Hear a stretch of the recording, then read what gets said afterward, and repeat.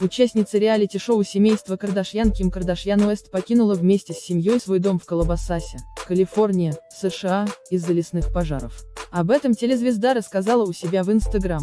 Только что приземлилась дома, у меня был всего час, чтобы собраться и уехать.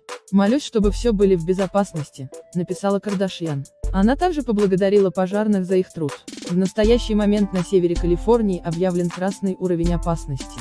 В штате активно 16 пожаров, сообщает BBC, больше 150 тысяч человек покинули свои дома. По предварительным данным, стихия унесла жизни пяти людей. Огонь распространился на 8 тысяч гектаров и почти полностью уничтожил город Парадайз.